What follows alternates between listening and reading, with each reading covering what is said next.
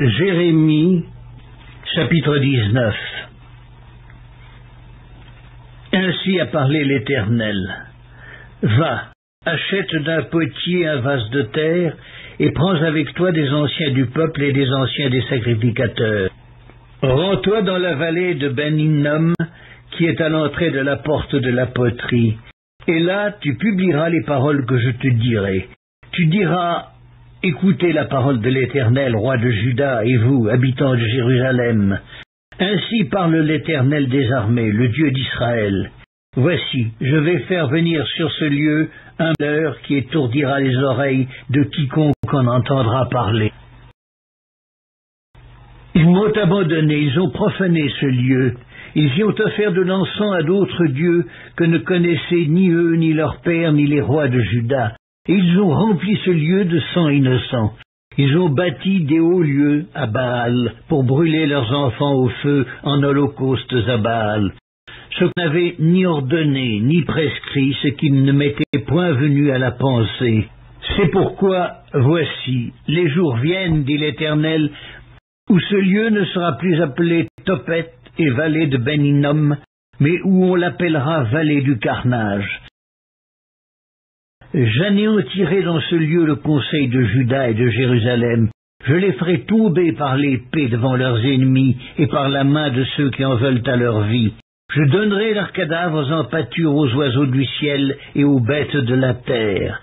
Je ferai de cette ville un objet de désolation et de moquerie. Tous ceux qui passeront près d'elle seront dans l'étonnement et siffleront sur toutes ses plaies. Je leur ferai manger la chair de leurs fils et la chair de leurs filles, et les uns mangeront la chair des autres au milieu de l'angoisse et de la détresse, où ils réduiront leurs ennemis et ceux qui en veulent à leur vie. Tu briseras ensuite le vase sous les yeux des hommes qui seront allés avec toi, et tu leur diras, Ainsi parle l'Éternel des armées.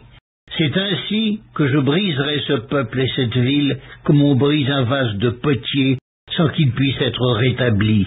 Et l'on enterrera les morts à Topet par défaut de place pour enterrer. C'est ainsi que je ferai à ce lieu, dit l'Éternel, et à ses habitants, et je rendrai cette ville semblable à Topet. Les maisons de Jérusalem et les maisons des rois de Juda seront impures, comme le lieu de Topet. Toutes les maisons sur les toits desquelles on offrait de l'encens à toute l'armée des cieux, et on faisait des libations à d'autres dieux.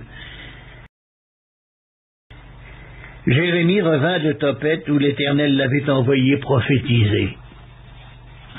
Puis il se tint dans le parvis de la maison de l'Éternel et il dit à tout le peuple, Ainsi parle l'Éternel des armées, le Dieu d'Israël. Voici, je vais faire venir sur cette ville et sur toutes les villes qui dépendent d'elle tous les malheurs que je lui ai prédits, parce qu'ils ont raidi leur cou pour ne point écouter mes paroles.